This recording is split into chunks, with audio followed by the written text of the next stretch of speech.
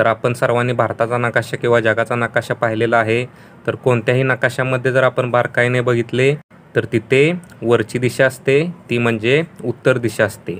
त्याचप्रकारे आपल्याला माहिती आहे की नकाशामध्ये उजव्या बाजूची दिशा ही पूर्व दिशा असते आणि डाव्या बाजूची दिशा ही पश्चिम दिशा असते आणि खालच्या बाजूची दिशा ही दक्षिण दिशा असते. तर आपल्याला फक्त दोनच गोष्टी लक्षात ठेवायच्या आहे ती म्हणजे वरची दिशा उत्तर आणि उजवीकडची दिशा पूर्व.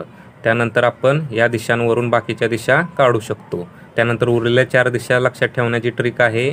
ती म्हणजे या प्रकारे आपण आडवा शब्द लिहायचा आहे वाई आणि खालून वरती या प्रकारे आई. या प्रकारे शब्द लिहायचा आहे आणि उरलेली दिशा असणार आहे आपली ती नैऋत्य दिशा.